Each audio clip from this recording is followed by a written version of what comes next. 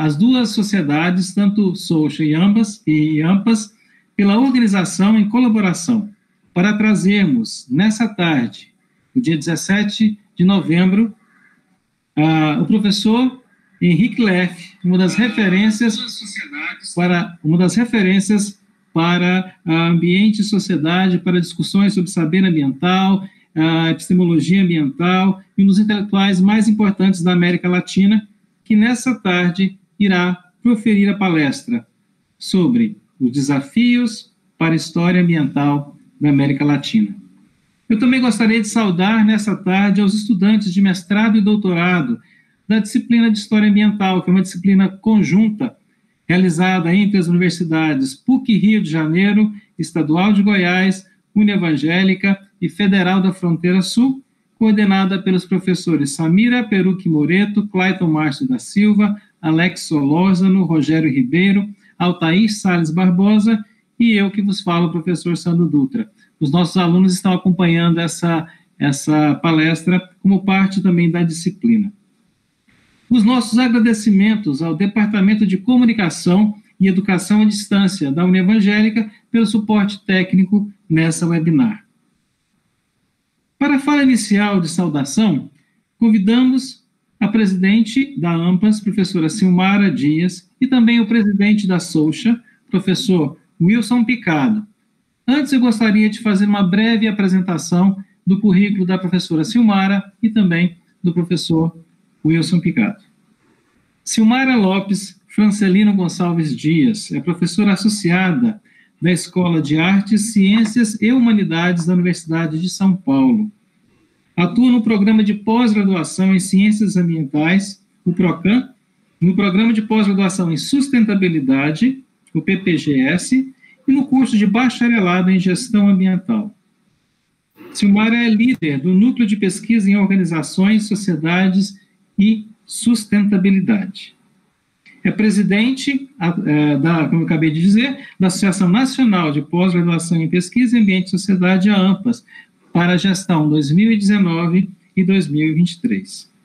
É livre docente pela Escola de Artes, Ciências e Humanidades, da USP, é, na área de ciência ambiental, com especialidade em sustentabilidade, resíduos sólidos e organizações.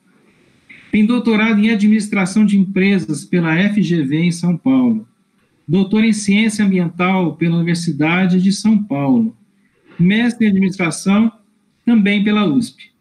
Bacharel pela PUC Minas Gerais em pedagogia, é pesquisadora das áreas de sustentabilidade, gestão socioambiental, políticas públicas ambientais e estudos organizacionais. E o interesse de pesquisa se concentra nas áreas de sustentabilidade, responsabilidade socioambiental e empresarial, empreendedorismo social, organizações da sociedade civil, movimentos sociais, resíduos sólidos urbanos desperdício de alimentos. O professor Wilson Picado é, é professor de História e do mestrado em História Aplicada da Universidade Nacional da Costa Rica.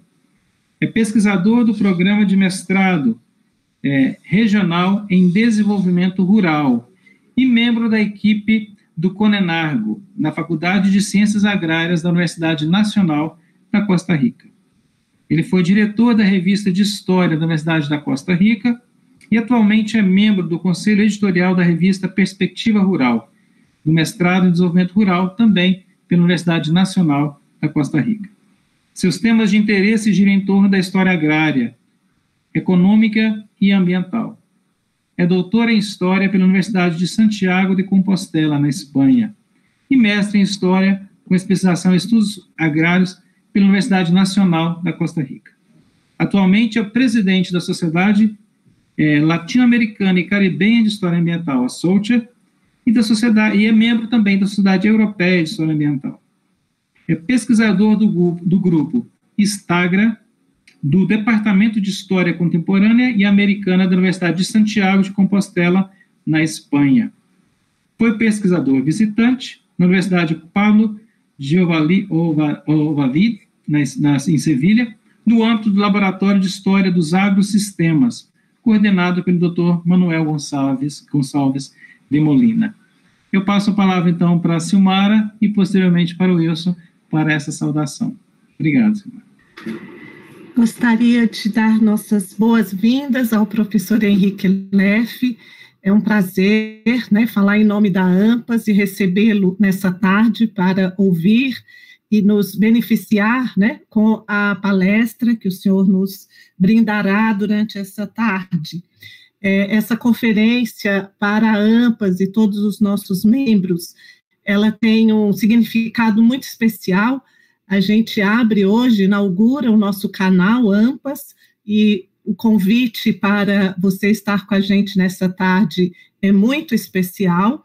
É, nós estamos comemorando, iniciando as nossas comemorações para os 20 anos é, que já temos de fundação, e, e esse momento de, dessa tarde abre né, as nossas comemorações para os 20 anos é, que a nossa associação congrega pesquisadores, pós-graduandos de todas, de vários programas do Brasil. Então, professor, um privilégio tê-lo conosco nesta tarde.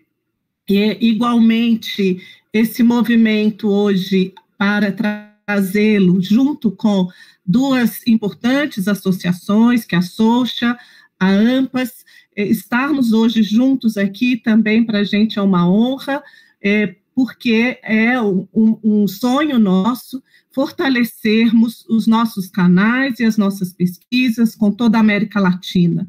Então, essa importância de ter você como uma ilustre é, personalidade e, pesquis, e, pesquisador como é, é, também brindando essa parceria com a Soucha nesse momento que é, trazemos a sua palestra nessa tarde. Então, muito, muita honra em ouvi-lo, muito obrigada e tenhamos uma ótima tarde. Obrigada. Obrigado, Silmara. Wilson Picado, presidente Social. Hola, muchísimas gracias a todos y a todas por acompañarnos. Muchísimas gracias al profesor Lev por sacar de su tiempo para compartir esta conferencia y también muchísimas gracias a todo el equipo que ha estado detrás de la organización de esta actividad. Eh, también a Silmara y a Pedro por la colaboración para participar de este panel. Eh, es un momento muy importante para la sociedad porque de alguna manera estamos intentando desarrollar espacios eh, comunitarios virtuales a través de ese tipo de actividades y este es uno de los grandes primeros eh, eventos que estamos realizando. Ojalá que Solcha se convierta en una comunidad virtual fuerte, tan cercana, tan familiar como lo ha sido físicamente en los eh, casi 20 años que tiene ya de trayectoria. Eh, les invito, por cierto, también a estar siempre pendientes de las redes sociales de la sociedad tanto como de ALAC, en el YouTube, en el Facebook y en los diferentes perfiles con los que cuenta ALAC, tanto como Solcha. Eh, quiero recordarles, quiero aprovechar la oportunidad para recordarles que el evento Solcha, el simposio de nuestra sociedad, se realizará en forma virtual en julio del 2021 a cargo del doctor eh, Nicolás Cubi. Eh, a través de redes sociales pronto les empezará a llegar mucha información sobre esta modalidad virtual de nuestro simposio, que de alguna manera intenta enfrentar esta situación de pandemia, pero que también intenta aprovechar todas las herramientas y las posibilidades que contamos en el mundo virtual. Y también les invito a leer la revista ALAC, que ha estado muy activa durante estos meses de pandemia, publicando dossiers, publicando números, eh, y que tiene allí el acceso libre y gratuito artículos de muy buena, de muy buena calidad. Les invito entonces a ser pendientes de Solcha y de ALAC, el mundo virtual, eh, porque hemos llegado y esperamos quedarnos mucho tiempo por acá con una oferta interesante para todos y para todas. Muchísimas gracias de nuevo. Obrigado, Wilson. Eu também agradeço e destaco a participação das revistas Ambiente e Sociedade e a revista é, de AMPAS, vinculada a AMPAS, e também a revista de ALAC, que o Wilson acaba de mencionar, que é a revista de Solcha. As duas revistas também são parceiras nessa atividade dessa tarde. Eu agora gostaria de passar a palavra para o nosso moderador, professor Pedro Roberto Jacob, que irá também apresentar o nosso palestrante. Antes, eu vou fazer uma, uma breve apresentação do currículo do professor Pedro Jacob. O Pedro Roberto Jacob possui graduação em Ciências Sociais e Economia pela Universidade de São Paulo, mestrado em Planejamento Urbano e Regional pela Graduate School of Design da Harvard University, doutorado em Sociologia pela Universidade de São Paulo.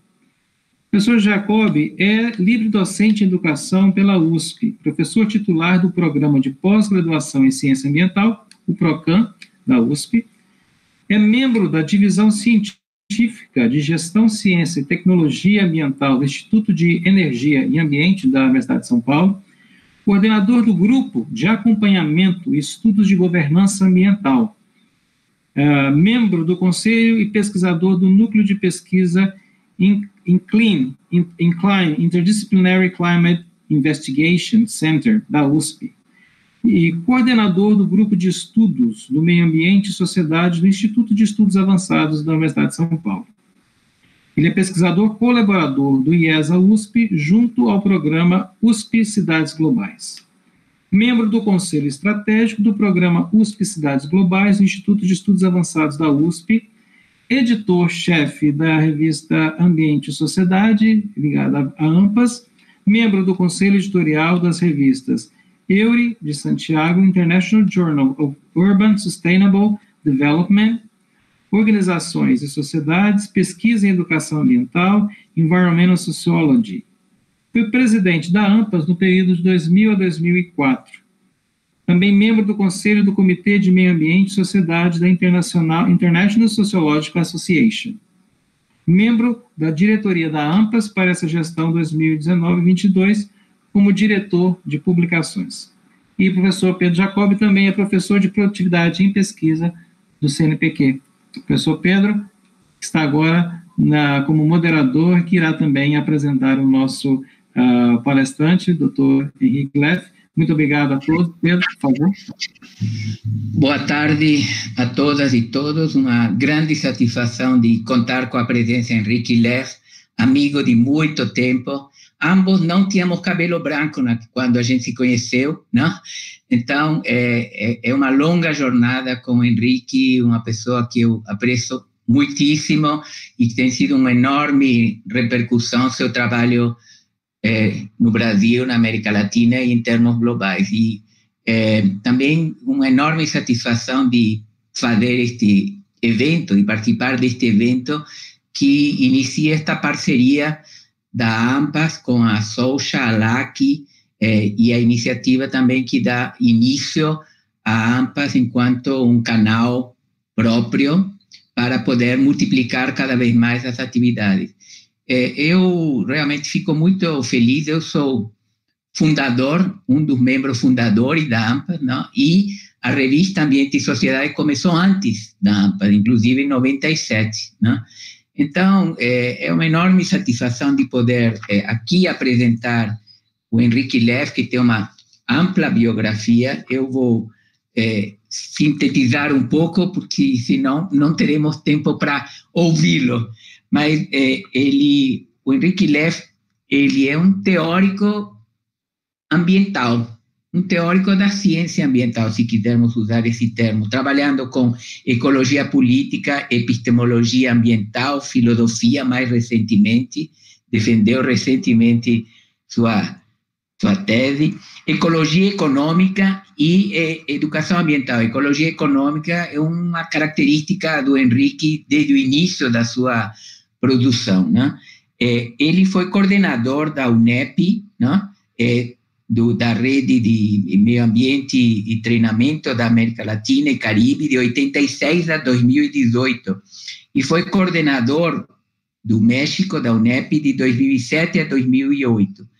É, ele, a formação principal, inicial, é, é um, um, doutorado em desenvolvimento econômico da Sorbonne e anteriormente tinha uma, um, uma titulação em engenharia química da UNAM.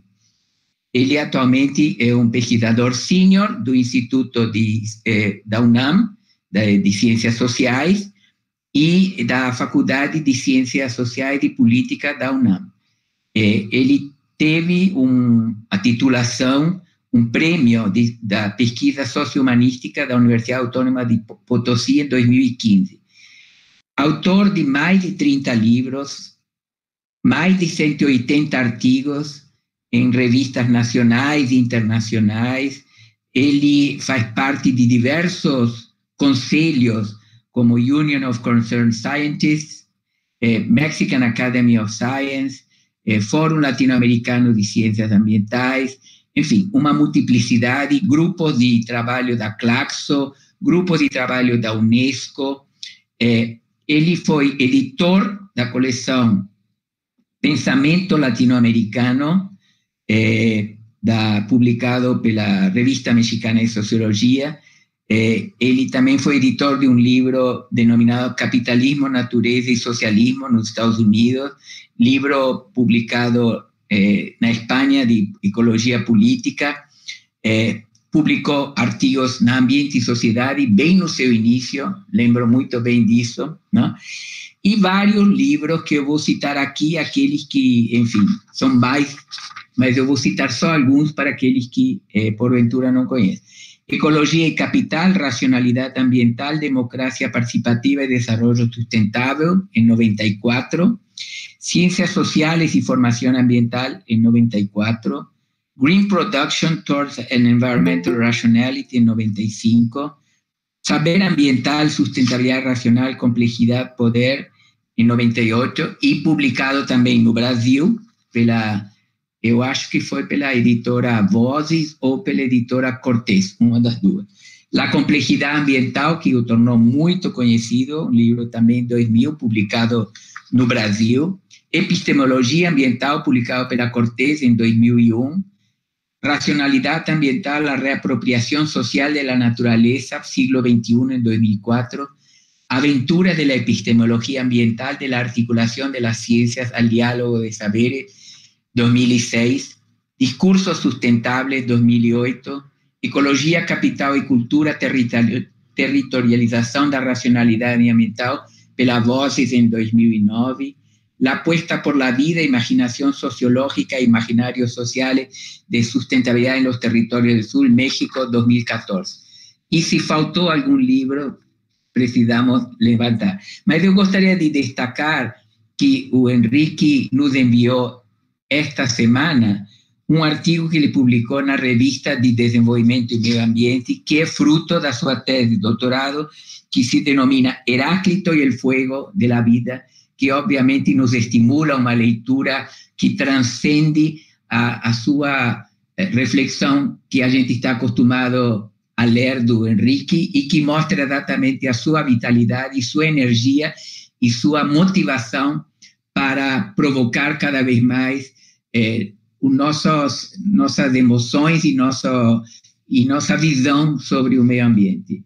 Henrique, a palavra é tuya. Muchas gracias por estar com nós. Muchísimas gracias, Pedro. Muchísimas gracias, Sandro. Eh, muchísimas gracias a Solcha y a, la ANPAS. Eh, debo decir eh, para todos vocês que falam português que eu fiz uma consulta a meus queridos amigos para fazer uma decisão não histórica, mas difícil, não? Se devia falar em portunhol, português, mal, deficiente português ou em espanhol. E Pedro, que vem de, da fala de espanhol, tomou a palavra para dizer que devia falar em espanhol. Então, vou a tratar, vou tentar falar em espanhol. Para mim, fica difícil falar em minha língua quando estou na companhia de tan queridos, tan queridas amigas, amigos eh, eh, eh, parlantes.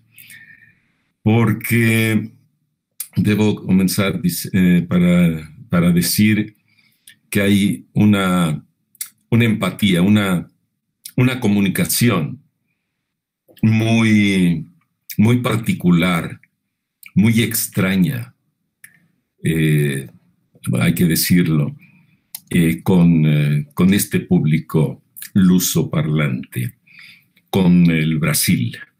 Con el Brasil. No es casual que casi la totalidad de mi obra está traducida y publicada en, en portugués. Y eso es señal de esta comunicación. Pero quiero decir también que para mí eh, es motivo de un gran honor, un privilegio de la vida, eh, ocupar este espacio, responder a esta siempre generosa invitación de, mis queridos amigos y amigas en, Brasil para, para abrir estos espacios.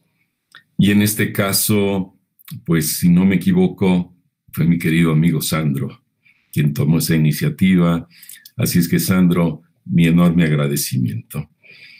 Y el, otro punto de esta gran honra es por estas dos eh, asociaciones, instituciones ya de, del pensamiento ambiental latinoamericano, que son, por un lado, eh, Solcha, la Sociedad Latinoamericana y Caribeña de Historia Ambiental, que debo decir sin ambajes, que dentro de las diversidad de redes temáticas que se han venido constituyendo en el ámbito en el ámbito académico y académico político, este, que es parte del despliegue de, este cuestionamiento de nuestra sociedad y de nuestra sociedad académica también, desde la cuestión ambiental, desde la crisis ambiental, debo decir, como digo, sin, sin mayor pudor ni ambajes y sin lastimar las sensibilidades de, de nuestros colegas que hacen parte de otras redes, que he visto este, la manera ejemplar como Solcha ha venido eh, construyendo ese espacio.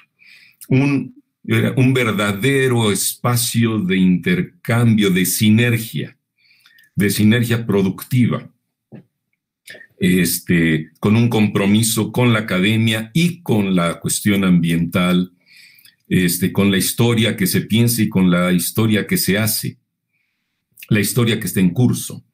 Y eso es esta red, esta sociedad latinoamericana y caribeña de, de historia ambiental. Y por eso quiero agradecer a Wilson Picado también y a todos los amigos y amigas que eh, no, no enumeraré todos los, eh, los nombres de tantos y tantas queridas amigas que conforman este, este, este espacio ejemplar, por darme esta oportunidad, por convidarme nuevamente.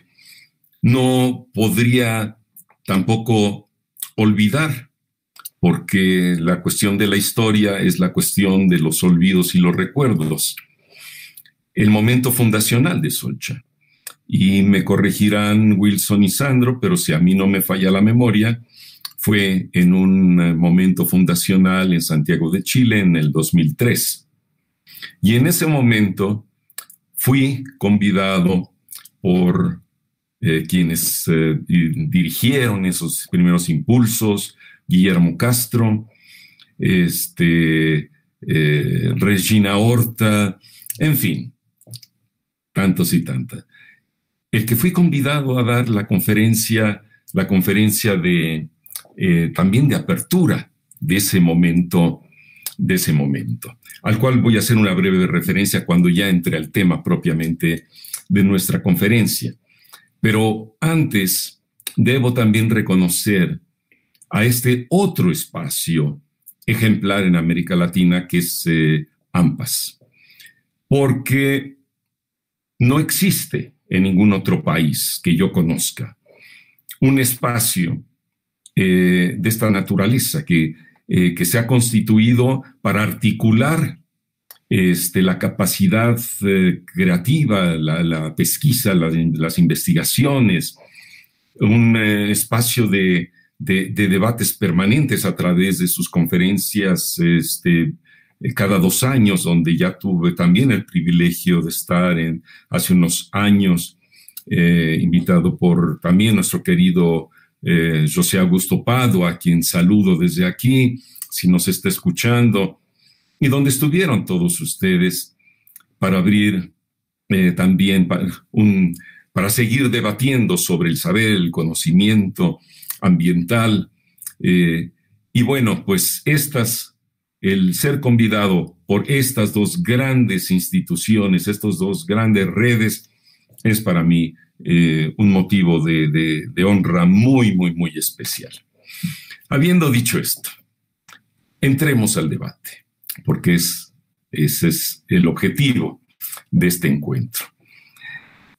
Y el debate es para volver a pensar eh, cuál es el lugar de la historia, de la historia ambiental en esta, este llamado de la crisis ambiental, de la cuestión ambiental, a repensar nuestro mundo, a repensar nuestra historia, la historia que pensamos desde el campo disciplinario de la historia como una sucesión de acontecimientos que se dan en el tiempo, que marcan eh, hitos históricos, que marcan los futuros de, de, nuestra sociedad y que es un espacio que se ha visto conmovido como el de todas las otras ciencias, sobre todo las ciencias sociales, por este acontecimiento que es el acontecimiento de la crisis ambiental. La crisis ambiental no es solamente una dimensión que debe ser internalizada por todas las ciencias. Es un acontecimiento histórico que conmueve la manera como hemos pensado la conformación, la constitución de lo social y como pensamos la historia. Y ese ha sido, digamos, este, el, llamado crítico, digamos, el, podríamos decir, el silogismo disyuntivo que desde la categoría de ambiente ha venido a conmover y a propiciar la constitución de este espacio que hoy volvemos a discutir. Yo recuerdo que en ese momento fundacional 2003, en esa conferencia, afirmé una cuestión. Dije que la historia ambiental era la historia de la categoría o el concepto de ambiente. Hoy volvería a reafirmarlo. No porque la historia ambiental deba ser solamente o principalmente este, la, la historia de la constitución de un concepto, es decir, la historia epistemológica, sino porque el ambiente como categoría viene a conmover eh, el, el, modo de reflexión, el modo de consideración de los sucesos, de los hechos, de los acontecimientos históricos. Entonces, hoy podría decir, sí, la historia ambiental es la historia de la categoría del ambiente, en el sentido, pero lo reforzaría quizás de un modo más radical, diciendo que la historia ambiental es la historia de un, de un olvido, la historia de un esquecimiento, lo cual pareciera controvertir el pensamiento desde lo que no es, pero eso es la historia. La historia ambiental, si la historia ambiental es la historia que llevó a la crisis ambiental, a este fenómeno o acontecimiento que la historia no permitía prever. Si no permitía preverlo es porque la historia, la manera de interrogar el tiempo histórico, estaba ocluido por un modo de pensar. Y es ahí donde la historia tiene que repensarse desde una deconstrucción de la historia. Y como todos saben, siguiendo a Derrida, la deconstrucción histórica es justamente eso, es cuestionar los modos como se constituyó, digamos, el logos de la historia, la manera de interrogar los hechos históricos, donde no solamente hay una cuestión de que la historia la han dicho los triunfadores, ¿sí?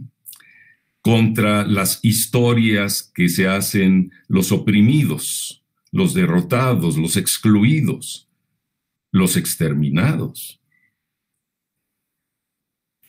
Hay ahí no solamente una cuestión de completar una historiografía de los hechos ocurridos a través de la palabra de la gente, como dijimos, de los perdedores o de los dominados o de los excluidos, aunque también es eso. Porque junto con la crisis ambiental o parte de la crisis ambiental, que debo decir socioambiental, ha sido este fenómeno de exclusión, de dominio, no solamente sobre la naturaleza, sino de subyugación de los saberes, de la, gente de los pueblos, de, de, las comunidades de los pueblos de la tierra. Es ahí este, donde empezamos a conectar, digamos, este cuestionamiento de la historia, no solamente desde cualquier tipo de deconstrucción histórica, es decir, de, cuestionar cómo se construyeron los conceptos, las categorías desde las cuales pensamos y, razonamos, eh, interrogamos a los hechos históricos, sino desde este fenómeno de dominio y de exclusión. Y como la naturaleza podrá tener ya derechos, pero todavía no habla. Cuestionamos, hemos abierto en este fenómeno histórico, digamos, en esta crisis civilizatoria, donde la parte ambiental es fundamental, vemos también una, una cuestión de dejar hablar, de escuchar a los oprimidos, donde ciertamente están las mujeres, están, pero están en general lo que llamamos los otros, las otras. Y déjenme decir lo otro, a lo cual me voy a referir también. Lo otro como lo no pensado. Y es ahí donde, como decía, la ecología política es el campo que viene a cuestionar a la historia, para preguntarle, para hacerle decir aquello que no ha dicho, que no ha pensado, o mejor dicho, para dejar hablar a las otras verdades de la historia, las otras verdades que no han sido dichas, porque no se articulan en, el, en la estructura, en, en el logos histórico. Y es ahí donde vamos entonces a entrar a este recuestionamiento de la historia. Ya es verdad que la historia ambiental, desde el dominio de la naturaleza, la destrucción de la naturaleza, ha abierto un campo muy vasto para poner al descubierto los procesos de destrucción, deterioro, degradación de la naturaleza a través de diferentes estructuras sociales. Y ha sido un campo, digamos, muy fértil en el campo de la historia ambiental. Es decir, asociar los fenómenos de degradación, sacarlos del campo meramente de la ecología y ver cómo las estructuras sociales son las que han intervenido a la naturaleza y la han degradado.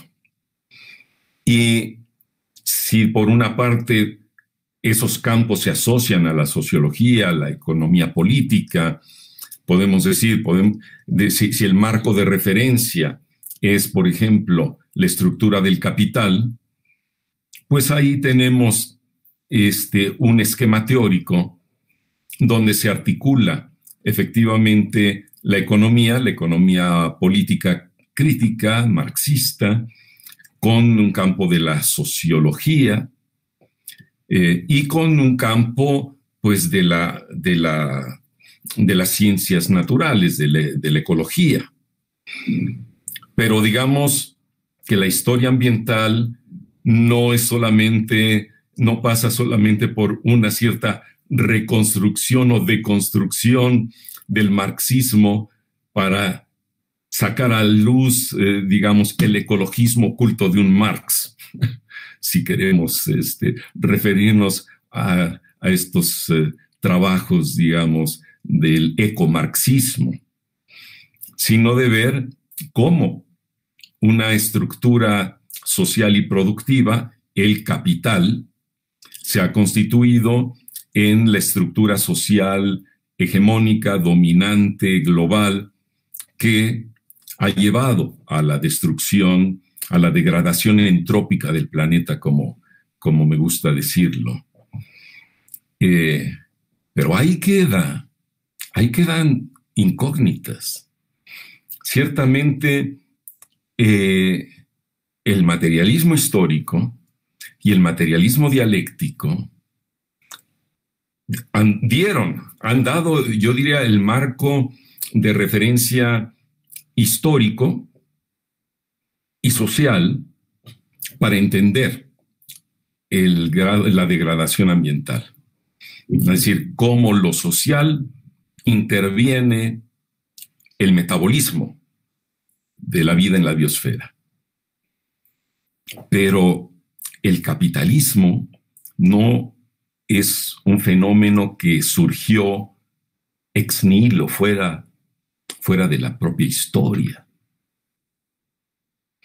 Y no basta ser una historiografía del capitalismo, como lo hizo Barrington Moore, tantos historiadores que han hecho, incluso eh, Calpolanchi, es decir, la historia de cómo se fue articulando y constituyendo ese modo de producción que es la racionalidad que domina, que gobierna, que mueve al mundo. Esa historia tiene su historia. Y es esa historia la que quizás no hemos puesto al descubierto. Y quizás es esa historia la que nos remite a otros momentos fundacionales, fundacionales del hecho humano. La historia, podemos decir, es historia humana.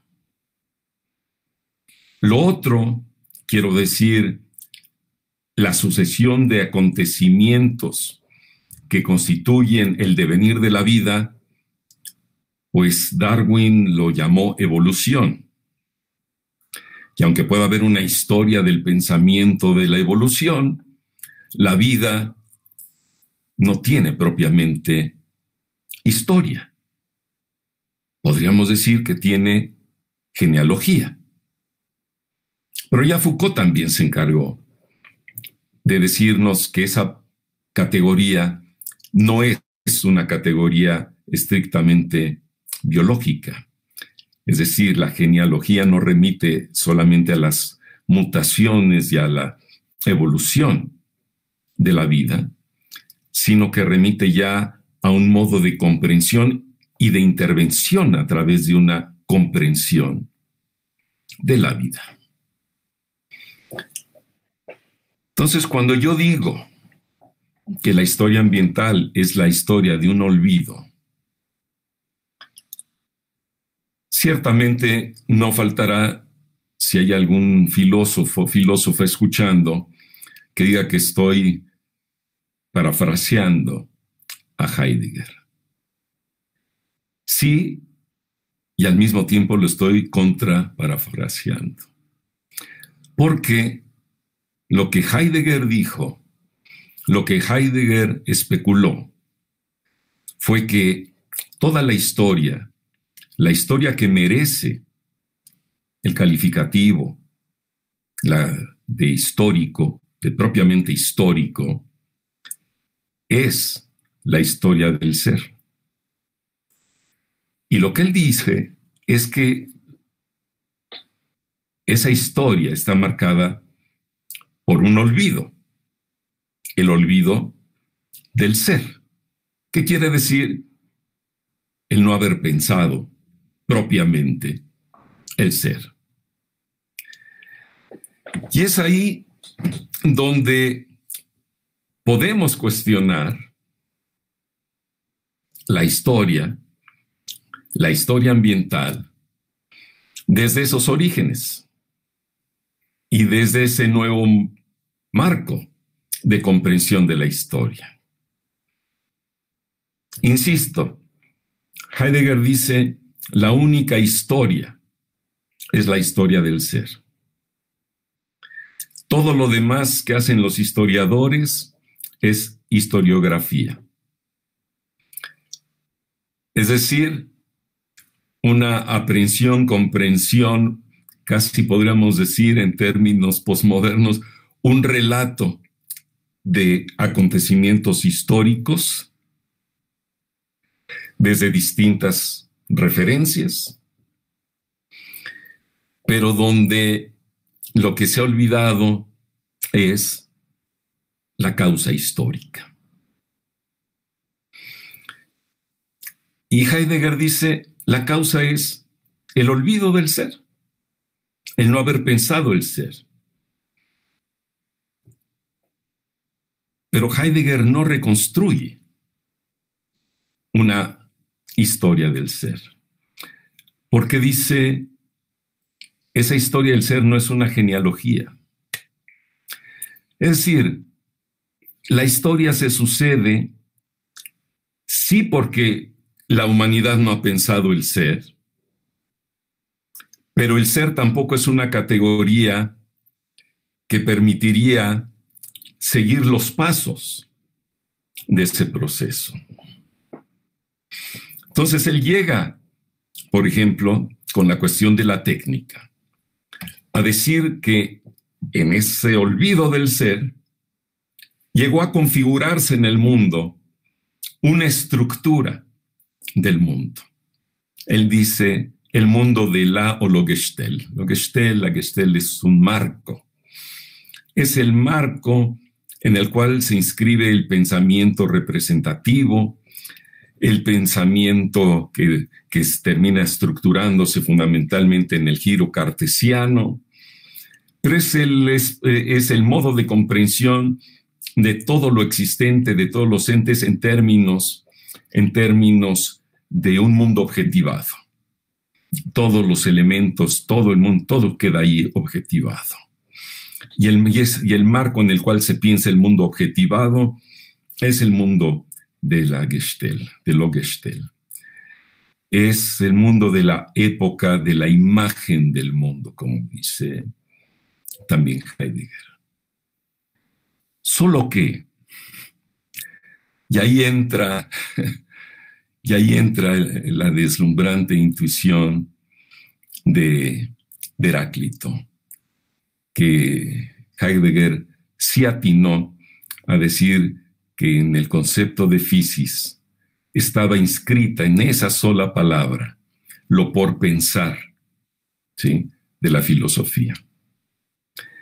Y lo pensar de la filosofía es lo que dice, lo, lo que quiere decir la primera intuición de la fisis, que es la emergencia, la potencia emergencial de todo lo existente.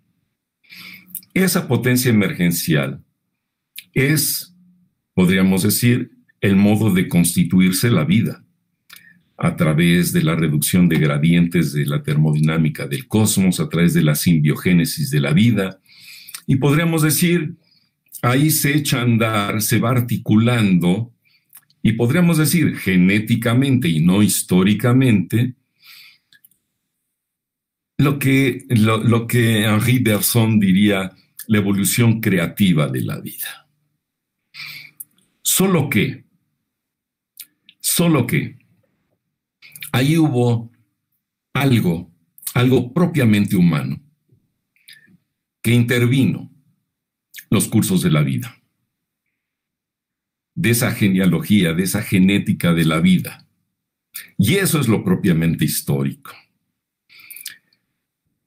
Y lo que dice Heidegger es que lo que ahí ocurrió fue, sí, el olvido del ser, un ser que por detrás y por haber sido olvidado es como una nada que es lo que activa la vida y que no hemos pensado.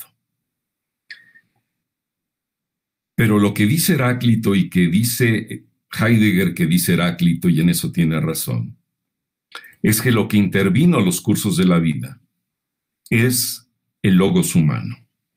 Y el logos humano es un modo de comprender, de atrapar, de recoger y de ahí sintetizar esa potencia emergencial de todo lo existente que es una fuerza emergencial de lo diverso, la potencia de lo múltiple, como han destacado este, otros dos grandes eh, filósofos, eh, Deleuze y, y Guattari. Y lo que se juega entonces en la historia, en sus orígenes, es primeramente el hecho constitutivo original, que es la emergencia del orden simbólico. Eso que Derrida llamó la diferencia o la diferencia.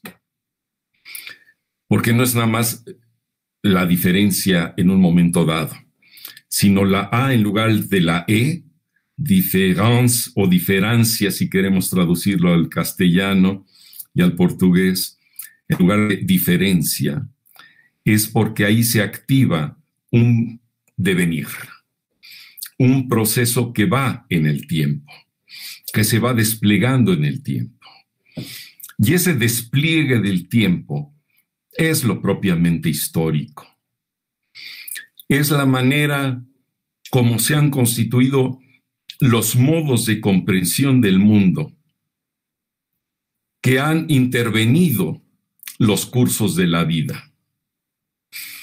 Y si queremos hacer un arco del tiempo, entonces tendríamos que ver desde el, eh, desde el momento originario de la emergencia, del acontecimiento, del hecho simbólico, cómo se fueron constituyendo los diferentes modos de comprender y de olvidar de, de incomprender la diversidad y la emergencia de la vida y, de, y el olvido de esa vida es lo, que, es lo que encontramos en la historia. La historia está marcada por el olvido de ser, pero más propiamente por el olvido de la vida. Y es eso lo que ha sido tan particularmente difícil de comprender por la humanidad de haber quedado atrapados por ese logos que la humanidad ha puesto en el pedestal supremo, supremo de la humanidad, sin darse cuenta que ahí está su mayor falla histórica. Hegel tuvo un atisbo de, de esta, digamos, de este olvido, de esta falla. Y él llegó a decir, vamos, hay una frase que se cita mucho y que es más que enigmática y paradójica, y se le asigna a Hegel, y que dice esa frase mal, maldicha, casi maldita, dice, la muerte de la naturaleza es la vida del espíritu. Pero lo que dijo realmente Literalmente Hegel es morir a lo natural, es la vida del espíritu.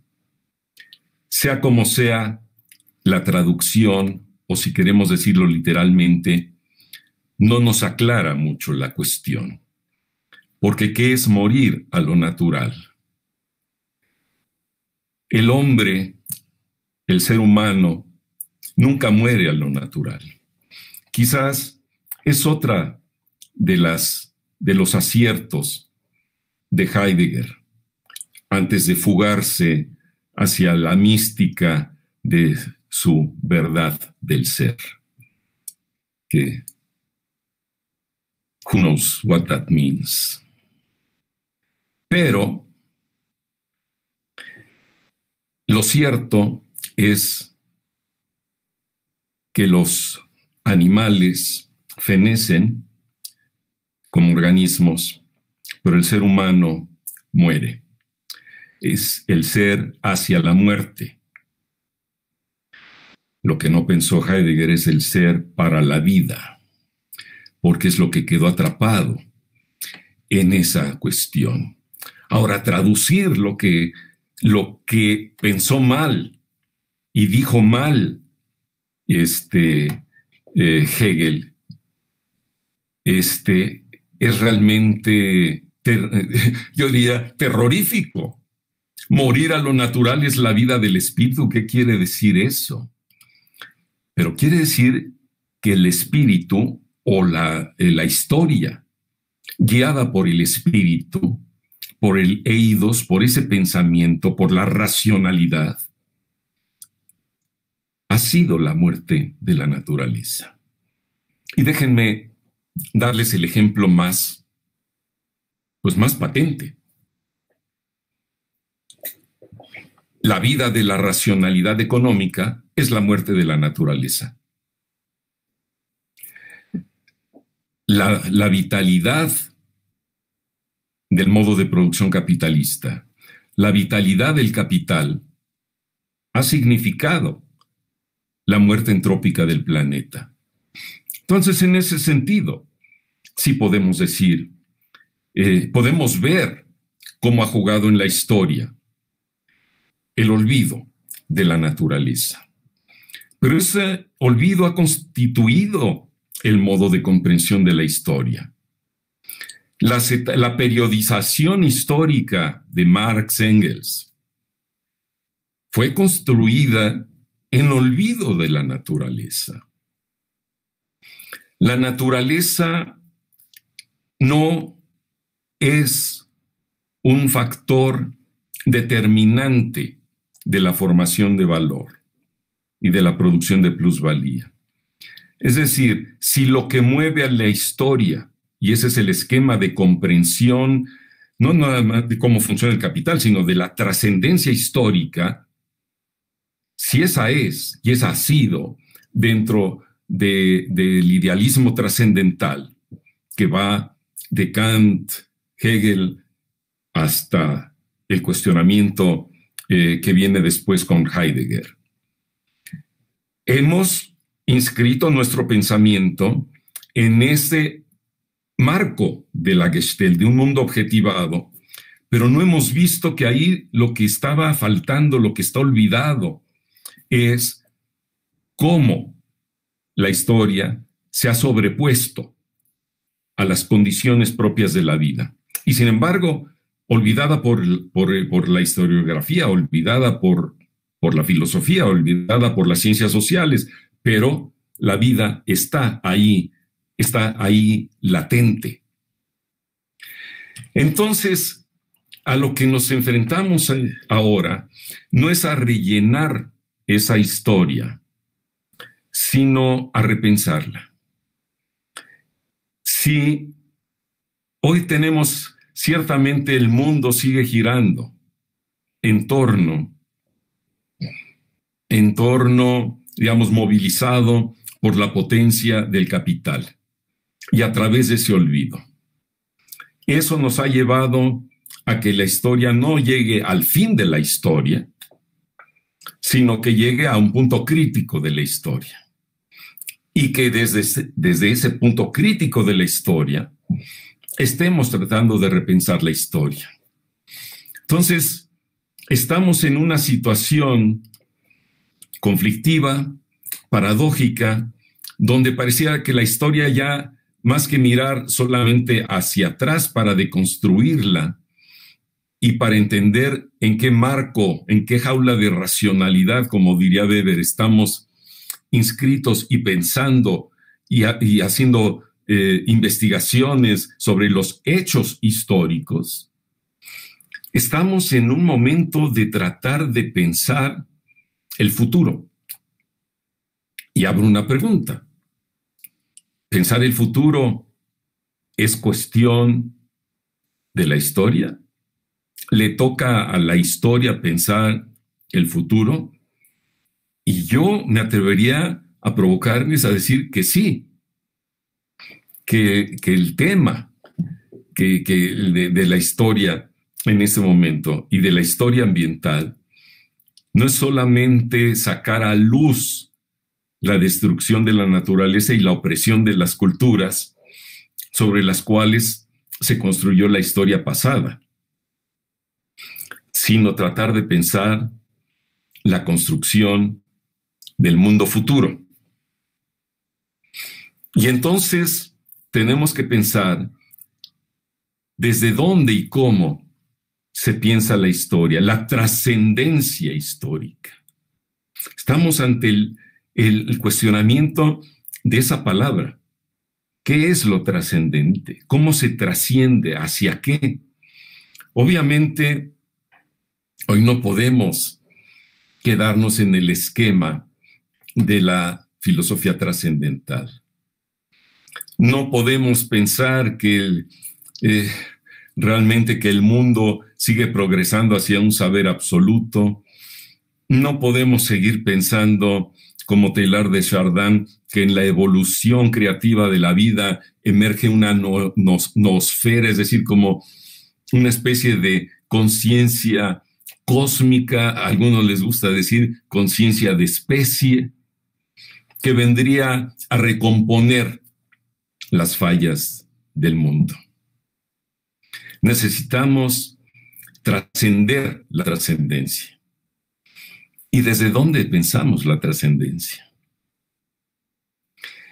Y es ahí donde viene, digamos, eh, al, al tema de la historia, eso que he venido apuntando hace tiempo con el sintagma del diálogo de saberes. El diálogo de saberes vengo diciendo, es la manera de pensar la historia desde la ecología política,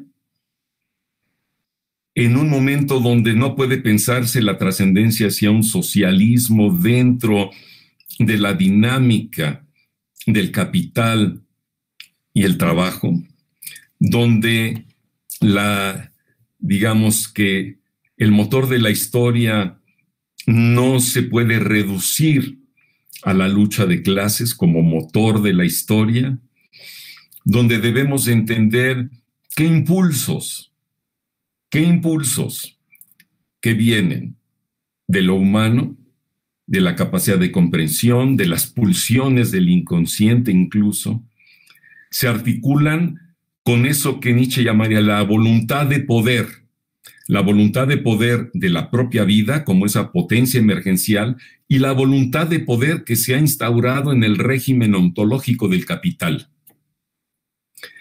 ¿Y cómo se articulan esas fuerzas para movilizar la historia frente a las condiciones de la vida? Condiciones termodinámicas, ecológicas, simbólicas, y culturales.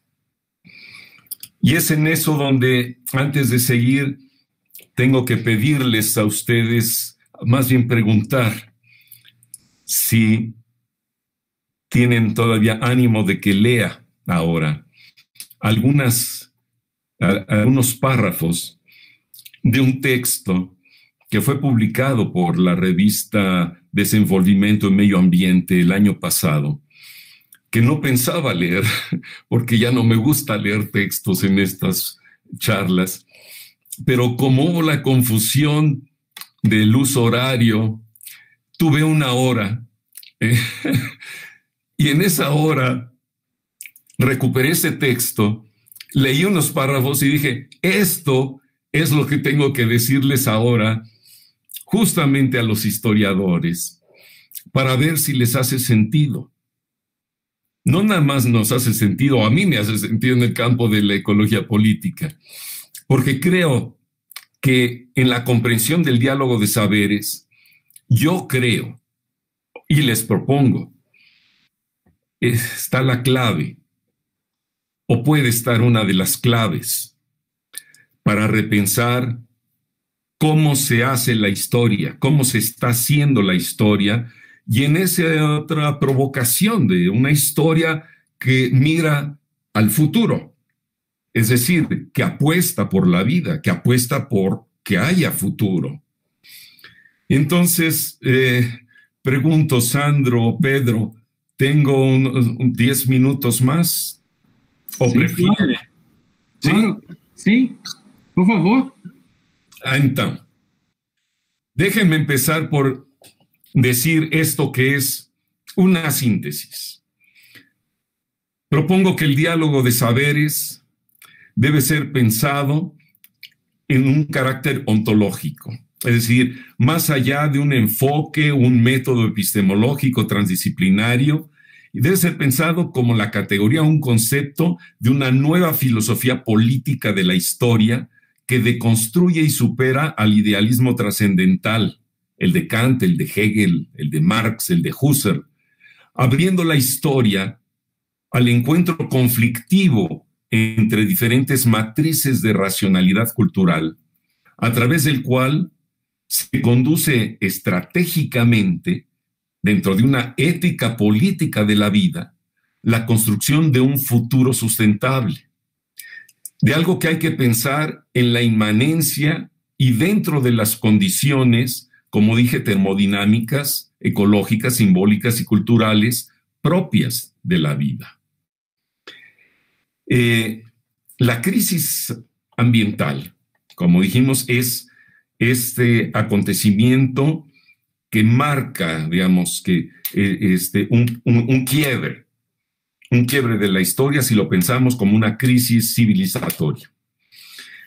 Y yo vengo diciendo que ese es el efecto histórico más contundente de la intervención del logos humano, como lo describí hace un momento, en el devenir de la fisis, en, ese, en esa comprensión eh, de Heráclito sobre la fisis. Y que es la historia de la imposición del principio razón y el dominio de la racionalidad de la modernidad sobre las condiciones de la vida. Empero, la vida en la Tierra ha seguido transformándose en una coevolución de la naturaleza y de las culturas, junto con la organización de diversas comunidades humanas que han habitado el planeta. El lenguaje humano, recordémoslo, se multiplicó en la Torre de Babel, dando lugar a una diversidad de saberes del mundo y de modos de significación de la vida. Pero las lenguas forjadoras de los muchos mundos de vida de los pueblos de la tierra, fueron intervenidos por el Logos y sometidas por la conquista y a través de la colonia a los designios de la razón, sujetas al dominio de la racionalidad de la modernidad.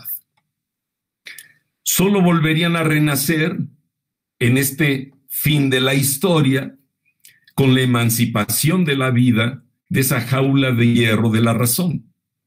Hoy, esa dispersión de saberes se encuentra en el mundo globalizado, movilizado por la intervención forzada del régimen ontológico de la tecnoeconomía o del capital, que invade sus autonomías constitutivas, y por el espíritu de supervivencia y emancipación que anima a los movimientos emergentes de resistencia hacia lo que venimos denominando junto con mi querido Carlos Walter Porto, la reexistencia de sus mundos de vida y que está afianzada hoy por los derechos, los derechos socioambientales, esos derechos que hoy son derechos de ser en el mundo, de vivir en el mundo. Es desde ese hecho histórico también que se reabre la historia. Y en ese laberinto de la vida en ese entramado de la historia, es ahí donde se configura lo que vengo llamando el diálogo de saberes, para conducir desde ahora los destinos de la humanidad, que serán los destinos de la vida. El diálogo de saberes que pone en juego la crisis ambiental no solo se refiere al intercambio de miradas y opiniones sobre las cuestiones que aquejan al mundo y en las cuales están comprometidas diversos intereses y confrontados puntos de vista diversos. No solamente apunta hacia una ética para acoger diversas posiciones y dirimir sus controversias dentro de lo que Habermas eh, ha llamado una democracia deliberativa que está sujeta a los procedimientos de una racionalidad comunicativa, es decir, de lo que él llama un saber de fondo que acaba siendo la razón suprema y donde quedan también nuevamente excluidos, subyugados los saberes otros, de los otros. Es decir, el diálogo de saberes no es una metodología para propiciar un intercambio intercultural o para promover la fusión entre diferentes disciplinas con el propósito de construir esquemas inter o transdisciplinarios de conocimiento. El sintagma diálogo de saberes funda un sentido categorial que refiere al encuentro entre diferentes seres culturales, a la diversidad de modos de comprensión del mundo y de modos de ser en el mundo. Y en ese sentido, viene a suplantar la comprensión del sentido de la historia instaurado en la filosofía moderna por el idealismo trascendental. Es decir, la idea de una trascendencia histórica pensada desde la racionalidad kantiana, la dialéctica del saber absoluto de Hegel o la contradicción dialéctica en la lucha de clases en Marx. La historia natural adquiere así un sentido trascendental desde el momento en el que el modo propio de ser de la vida, es decir, de esa potencia emergencial, de sus mutaciones y transformaciones en la evolución creativa de la vida, es dominado por el modo de comprensión del ser, es decir, de ese encuadre del pensamiento metafísico de la modernidad en el que se configura la filosofía trascendental. Pero el ser, la vida, son categorías universales que solo alcanzarán su autocomprensión y su sentido más propio desde los modos de existencia que se forjan en los lenguajes de las culturas diversas que constituyen los modos de vida humana en el planeta. Es desde esa perspectiva que se abre otra filosofía de la historia, en la que adquiere su sentido propio este diálogo de saberes. De esta manera, se activa un retorno hermenéutico en el sentido en el que el pensamiento vuelve sobre lo ya pensado para desentrañar los sentidos de la historia. El diálogo de saberes se constituye así en otro modo de comprensión de la generación de otras verdades históricas, de otros modos de producción de la existencia humana y de la construcción de otros mundos posibles. Es en este sentido que el diálogo de saberes hace posible pensar la trascendencia del mundo dominado por el régimen ontológico de la tecnoeconomía, del capital, al de lo que he llamado también una racionalidad ambiental, que está fundada en una ontología de la vida.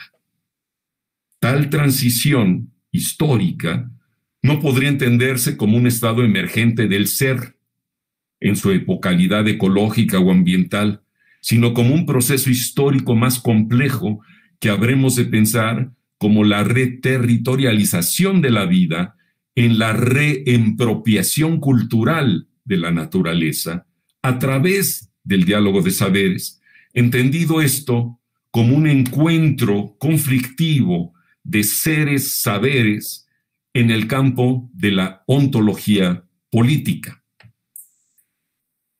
El enigma de la vida, que se desprende de ahí.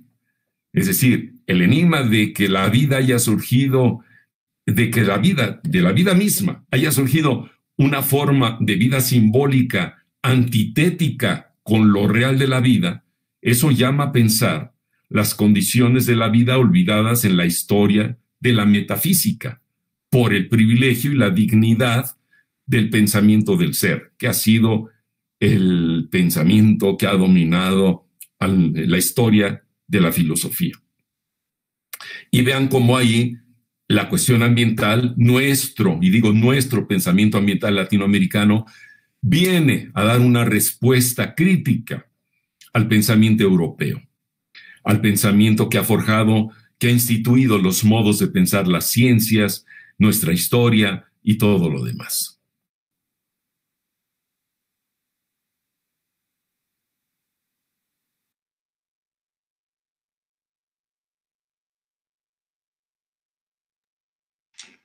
Congelou a imagem. Henrique?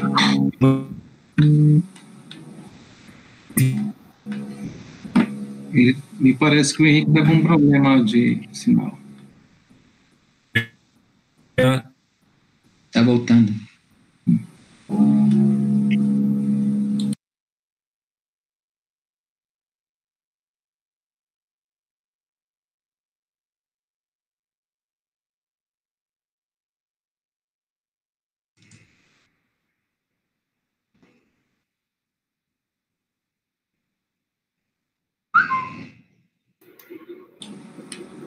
É. Olá, Henrique. Pode nos ouvir? Uh -uh.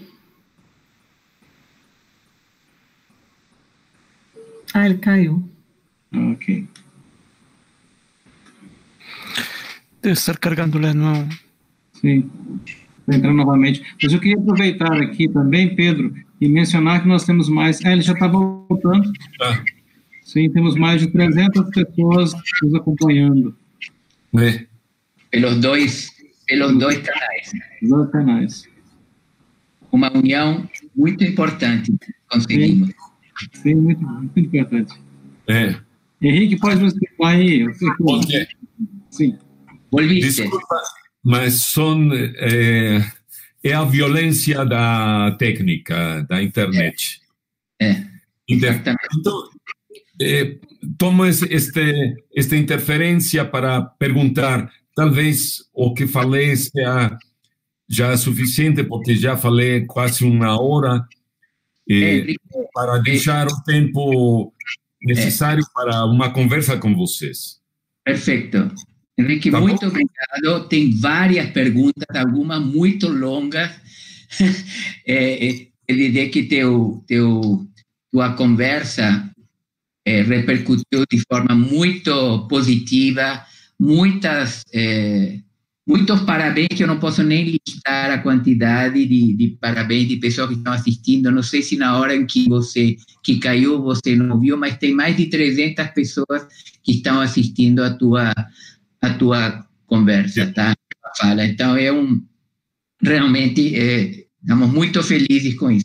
Eu vou começar lendo algumas perguntas e se o Sandro, a Silmara eh, também tiverem perguntas, a gente tem praticamente 50 minutos para conversar, se tudo se tudo estiver bem para você, tá? Eh, eu vou começar com, com uma pergunta eh, do. Aqui, que já vieram várias.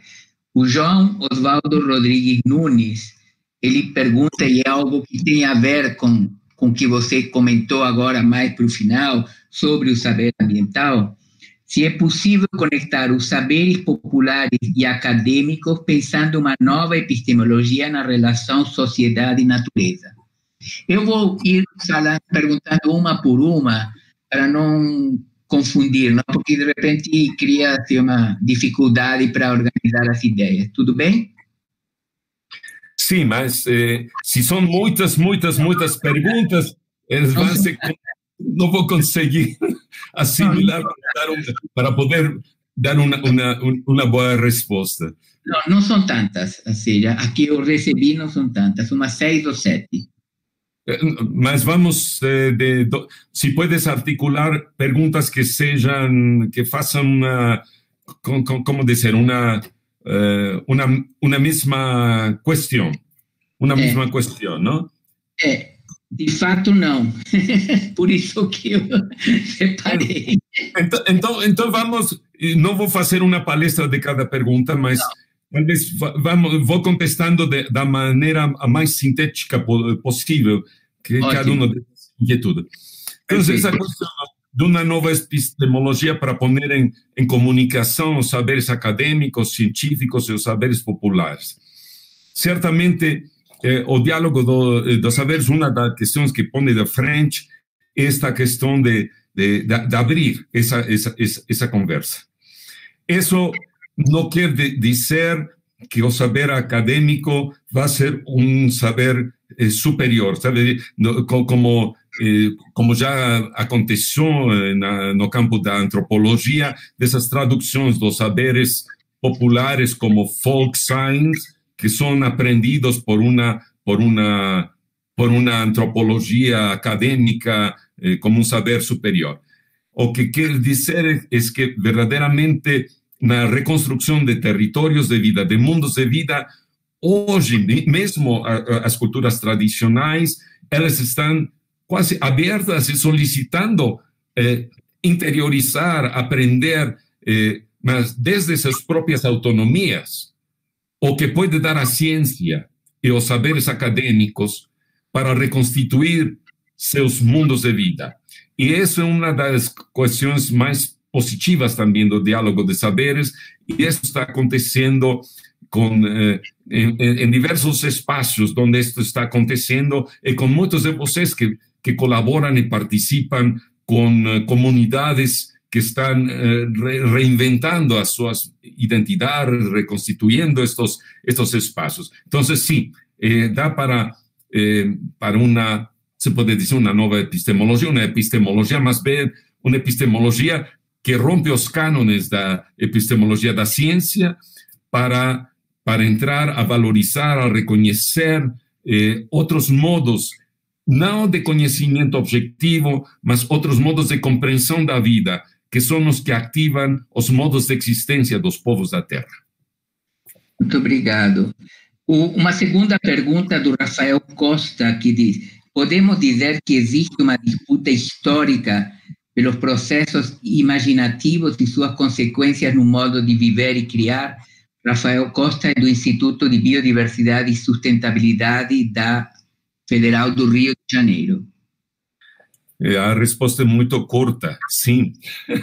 Acho que sim. O que está em questão é, é justamente isso.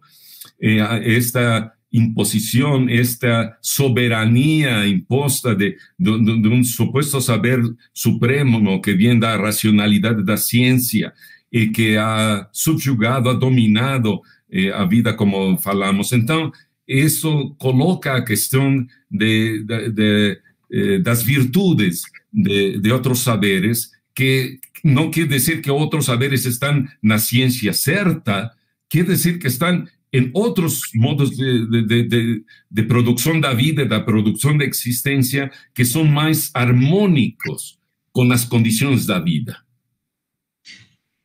A Mariana Gutiérrez Artero da Paz, do INPI, ela pergunta, eh, tendo em vista a teoria de Bauman sobre a morte do Estado e suas capacidades reduzidas, eh, o senhor compartilha dessa ideia e como o senhor vê o papel da sociedade e do Estado? eu acho que nem o Estado, nem o capital vão a, vão a fenecer tão rapidamente. Eh, mas o que está hoje eh, latiendo aí, ebulliendo eh, en la forja de, de la historia, dos acontecimentos posibles de la historia, são os processos de emancipação das populações, das pessoas, da cidadania. E são esses processos os que devem ser ativados. E volto a dizer, não, isso não quer dizer que esses tenham um saber supremo melhor. Que, esta questão se joga no sentido de, dos direitos de existência. Quer dizer que, que, que Bolsonaro no tiene un, derecho superior sobre los derechos de existencia de, la academia o los povos das florestas. Quiere decir que la democracia se joga en esos sentidos. y que a través de estos procesos de emancipación que debe de, que se está reconstituyendo el Estado en procesos muy complejos, pero quiere decir es, por ejemplo, el signo que da, la señal que da eh, los estados multiétnicos. Bueno, da una señal de que no es el Estado como unificación a través de un criterio de nacionalidad superior, están en emancipación otras nacionalidades, que quiere decir otros modos de ser en el mundo. Lo que está latiendo en esta trascendencia histórica es la apertura de la historia, del de la categoría de lo uno y lo universal hacia el juego de la diversidad. No solamente la biodiversidad, sino la diversidad cultural. Y en eso podrás, habrá de seguir un, un Estado representativo elegido de esa manera este, por, por mucho tiempo, pero que tiene que ser reconstituido desde esta ontología de los derechos de la diversidad, esos principios de lo que marca la ontología política. Ontología de la diversidad, política de la diferencia, ética de la otredad, de lo cual no hubo tiempo de hablar, pero que es fundamental la ética de la otredad. Convivir en, en, con los otros sin quererlos reducir hacia lo uno, hacia lo mismo, hacia mi criterio, mi voluntad de poder, mi voluntad de dominio, aunque no los pueda yo traducir y conocer, tienen derecho de existencia. Y ese es un principio fundamental que la medida que se ha reconocido, abre otros cursos de la historia hacia los que debe de mirar la historia ambiental. Muy bien. É, agora, tem duas perguntas que eu vou tentar juntar e que estão associadas ao, esquecimento, mas que são, de certa forma, bastante diferentes, mas elas têm a palavra esquecimento, então eu achei que você podia é, articular isso. O, o Ivan Rodrigues Soriano pergunta, na atual conjuntura marcada pelo Covid-19, poderíamos afirmar que a natureza resurge del olvido rompiendo el marco de la racionalidad económica? Esa es una pregunta. Y a Regina Horta, da Federal de Minas Gerais, que você conhece muito bem, tem uma pergunta gigantesca que eu vou ter que resumir porque ela deu uma aula aqui no conteúdo que ela fala. Mas ele diz assim, Henrique, se a história é a história do esquecimento, podíamos evocar os gregos antigos, já que você menciona Heráclito, é, e É, eu acho que você teria que responder por aí, porque eu não vou cortar o, a grande frase dela nessa parte. Então, eu acho que é, é, na essência, uma discussão sobre um tema que você destacou muito, que é o esquecimento. Bom, eh, se a pandemia viene a, a, a fazer a crítica, se, se o vírus é, é el, el emisario eh, de, la caída del muro eh, de Berlín de la, de la ciencia y el muro de Berlín de, del capital, ciertamente vienen el, el, acontecimiento COVID-19 junto con eh, los eh, acontecimientos, los fenómenos este, climáticos. Hoy estamos viviendo en estos días dos huracanes que han devastado Mesoamérica, que han, donde a, quienes más han afectado nuevamente es a las comunidades indígenas. Bueno, eh, lo que hay que hacer con eso es mostrar que justamente no son fenómenos naturales, que son otra manifestación de esta intervención del régimen eh, globalizado del capital, que al haberse olvidado a lo largo de la historia de las condiciones termodinámicas, meteorológicas, ecológicas de la vida, han roto el tejido de la vida y han este, desquiciado, han desquiciado los delicados y vulnerables mecanismos este, que, mantienen los, ciertos equilibrios este, del metabolismo de la, de la biosfera. Entonces, en ese sentido, la crisis ambiental, sí, desde hace 50 años, que ha sido una manifestación, digamos, de la crisis de la razón que, impulsa esos fenómenos, ¿no? Eh, y bueno, el olvido, hablar del olvido no deja de tener un, sentido eh, metafórico. Olvido es como si, como si hubiéramos tenido un conocimiento cierto y nos hubiéramos olvidado. Heráclito y los otros presocráticos que pensaron la fisis y con eso tuvieron una primera intuición de eso que hoy la biotermodinámica de la vida reconstituye en el sentido de, esa complejidad emergente como un marco de comprensión de cómo opera, cómo funciona este, la simbiogénesis de la vida en el proceso evolutivo de la propia vida. Bueno, eso es algo que fue olvidado o que no, no constituyó, digamos, el atractor principal del pensamiento filosófico. Y lo que tenemos que entender es que el pensamiento filosófico desde el eidos platónico fue lo que fue construyendo ese esquema de comprensión que es el esquema de comprensión de las ciencias. Por eso eh, Heidegger decía, las ciencias no piensan, no quiere decir que los científicos no pensemos o no piensen, si yo ya no sé que, si soy, ciertamente soy más filósofo que científico, pero no quiere decir que uno no piense, es decir, que no se te muevan las neuronas. Quiere decir que no piensan críticamente en el sentido de que ese no es el marco de referencia supremo para comprender la vida y para comprendernos dentro de la vida, que ha habido algo impensado y otra vez, volviendo a la otredad, eso abre una cuestión que no voy a poder eh, eh, expresar y explayarme ahí, acá, pero tiene que ver con aprender a vivir en la insapiencia de la vida. Es decir, no se trata de ir acumulando saberes, integrándolos en una retotalización del saber para tener un saber holístico que nos va a permitir saber a ciencia cierta cómo vivir en el mundo.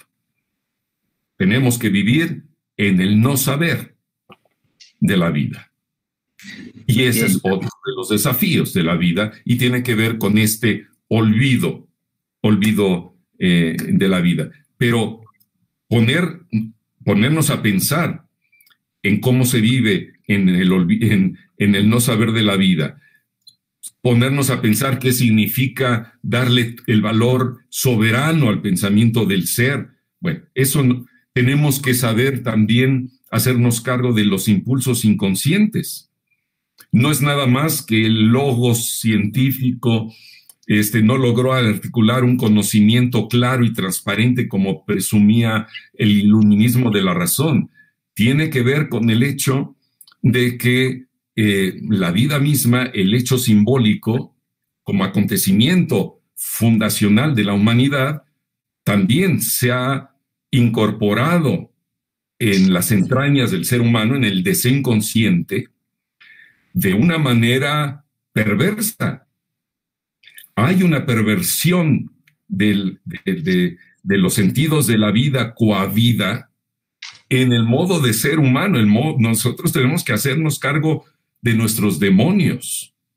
Y ese es, déjenme anunciarlo ya, ese es el tema del libro que sale este año, en un mes más, publicado en castellano, y espero que poco a poco traducido también, sea traducido al portugués para poder seguir debatiendo estos problemas porque no son problemas que va a resolver la biotermodinámica de la vida, pero no son problemas que resuelve la ontología heideggeriana. O sea, necesitamos seguir pensando, pensando lo posible para construir pues los otros mundos, como se dice, posibles, pero que solo son posibles si deconstruimos el mundo que dentro de los esquemas que ha sido pensado y construido están destruyendo pues la sustentabilidad de la vida. O sea, si vemos el grado, la amenaza sobre la vida, no solamente la sexta extinción, sino la vida humana, en estos acontecimientos recientes de la pandemia, que no será la última, ¿eh? tenemos que revertir esos cursos de la historia. Y no se van a revertir tampoco si dejamos de pensar. Entonces tenemos que pensar críticamente y yo diría que es desde América Latina donde venimos pensando más críticamente estas cuestiones. Desde el pensamiento eh, decolonial, desde el pensamiento socioambiental, desde nuestra ecología política y ontología política. Ahí están con toda la dificultad de, pensar estas cuestiones, estamos haciendo un esfuerzo y, por eso son tan importantes estos espacios que también son de diálogo de saberes, de nuestras, de cómo pensamos desde nuestros propios esquemas en los cuales vivimos, porque no dejamos de tener nuestras identidades este, científicas, de decir yo como economista pienso, yo como ecólogo pienso, yo como filósofo pienso, ¿no? Todos encuadrados en ciertas seguridades paradigmáticas que nos asientan en la vida. Bueno, debemos de estar dispuestos a pararnos en el mundo, dejar caer también nuestros propios muros de contención y dejar fluir el pensar y el hacer para reconstituir los mundos de vida. Eh, y, bueno, ese es, ese es el, gran desafío. Mira, eh, hay muchas preguntas. Yo quiero hacer una retomando que está aquí en la punta de la lengua y que tiene que ver un poco a un tema del, de cómo la sociedad eh, ha pensado el futuro, está pensando el futuro, la novedad que se trae con los jóvenes pensando el futuro, ¿no? Porque las huelgas climáticas son una novedad, de cierta forma, porque emergen de los jóvenes sin tutela de los adultos. Eh, los adultos han generado eh, organizaciones como Greenpeace, varios tipos de organizaciones para la protección del medio ambiente, para el cuestionamiento de las políticas públicas, para el cuestionamiento de, de las lógicas predatorias, etc. Pero los jóvenes están introduciendo la palabra futuro de una forma mucho más marcante. Quería que eh, te quería preguntar un poco eso, porque justamente rompe un poco con la idea del olvido, ¿no? Justamente es el opuesto del olvido que está colocado por los jóvenes. Y eso, personalmente, nosotros somos de edad muy próxima, me parece muy emocionante y al mismo tiempo muy diferente de lo que hemos vivido hasta recientemente. Entonces quería escuchar un poco sobre eso, porque varias otras preguntas, eh, puedo ver si hay un tiempo todavía, tenemos que terminar en, en 20 minutos, eh, pero hay muchas preguntas que ya de cierta manera las has respondido y te las podré enviar para que después eh, te, te las comentes, ¿ok? Mira, yo creo que hay dos cosas. No debemos olvidar que nosotros también fuimos jóvenes. Exactamente. Y que algunos seguimos siéndolo. O, tratamos. o tratamos. Eh, ciertamente, la crisis civilizatoria, o sea, el, punto límite de todas estas estructuras sociales del Estado, de la, eh, del, de la racionalidad jurídica, de las limitaciones que tiene este, el campo jurídico para, para responder a las nuevas demandas y a los, eh, eh, digamos, de emancipación que se están dando justamente por la exacerbación de la destrucción de, de la vida. Entonces, ahí tenemos que abrirnos a escuchar todas las voces esta no, es, aquí hay una crisis civilizatoria que no la va a aclarar este, un Hölderlin, un Heidegger, un filósofo, un, un termodinámico, ni Einstein. O sea, es una respuesta de toda la humanidad. Y entonces los jóvenes, la juventud tiene una característica, que es que ahí el espíritu de emancipación arde como el fuego de la vida. Entonces, los jóvenes se tienen, eh, es una mente, son mentes más frescas. No pasaron todavía por los doctorados que fueron enclaustrando nuestros modos de pensar y donde nosotros creemos que estamos haciendo nuevo pensamiento, nuevas ciencias y aportando al progreso de la claridad del mundo. Es esa característica de la juventud la que permite, digamos, más claramente, está más dispuesta a romper esquemas. Y necesitamos romper esquemas. Pero necesitamos romper esquemas para luego volver a reconstituir lo que ya no llamaría un esquema para conducir el pensamiento, sino para darle consistencia al pensamiento. Tenemos que aprender a pensar de manera consistente. Es decir, el que estemos criticando este, los modos este, eh, limitados de la razón para comprender nuestras condiciones de vida, el que estemos hoy abriéndonos a pensar la percepción del cuerpo, la sensibilidad, las emociones, todo esto que se está dando también en el campo de la ecología política, en ¿eh? una apertura a, pensar el cuerpo, a pensar la carne, todos estos temas que, como dije, ahora no hay tiempo de, de debatir. Pero eso no quiere decir que ahora vamos a reconstituirnos simplemente dejando fluir las emociones del cuerpo.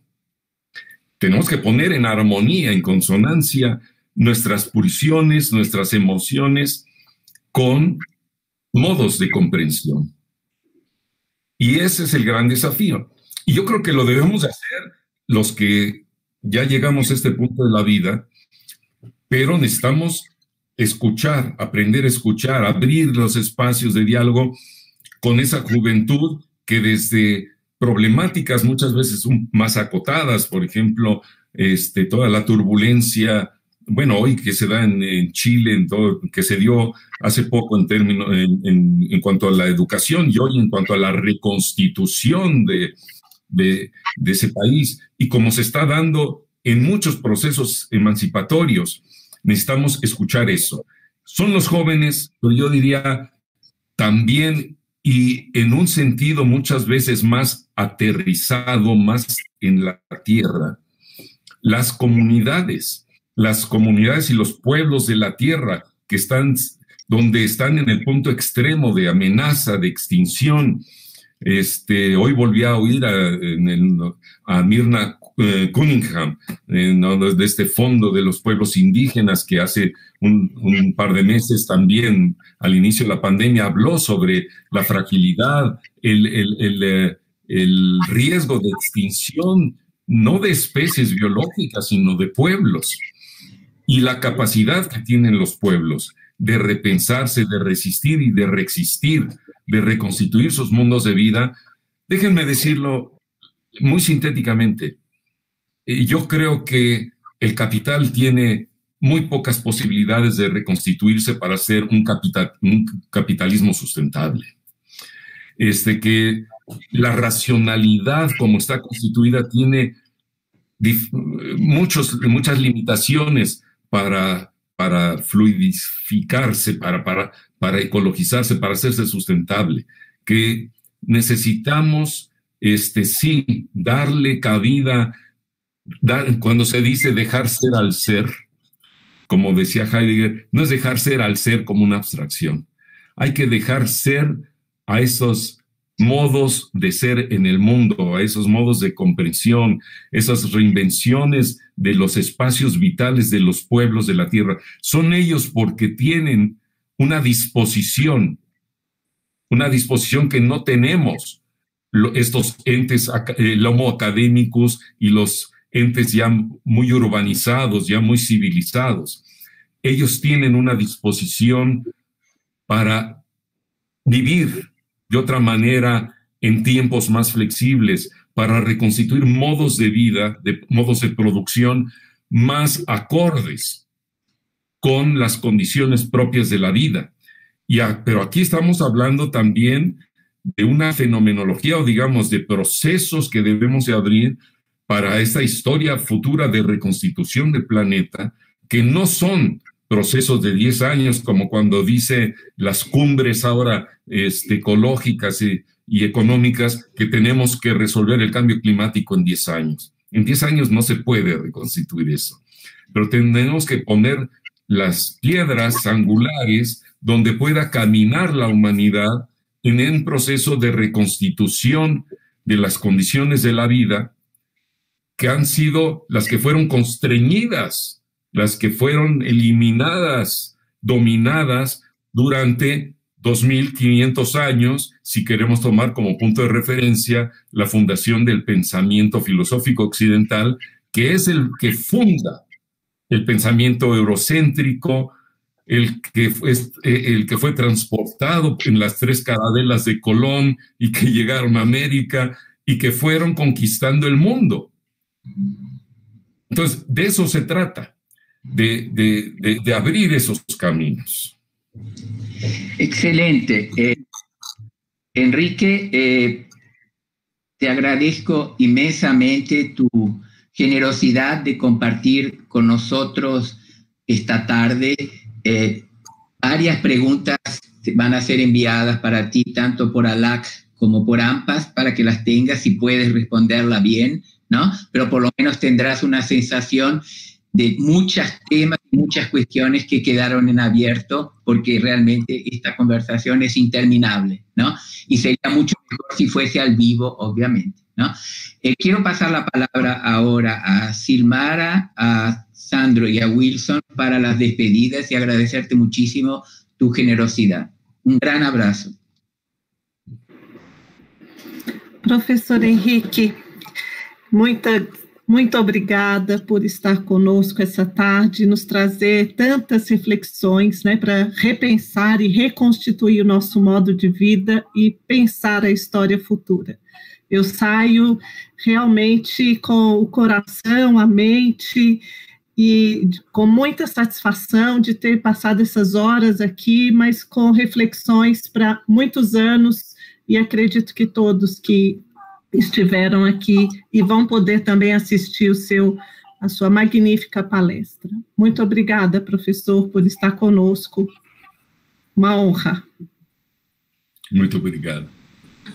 Meu querido amigo Henrique, Cara. eu queria te agradecer, Henrique, pela sua generosidade, pela sua lucidez, e pela força aglutinadora que você tem, que você desperta, em poder reunir tantos pesquisadores de tantas áreas diferentes. Nessa tarde foi você nos abrilhantou mesmo com uma uma, uma reflexão extremamente rica, poderosa, que nos motiva a pensar uma coisa que você escreveu sobre a história ambiental, que muito mais do que simplesmente ser uma ter uma função hermenêutica, retrospectiva, e reveladora da complexidade ambiental, a história ambiental nos, nos aponta para a construção do futuro.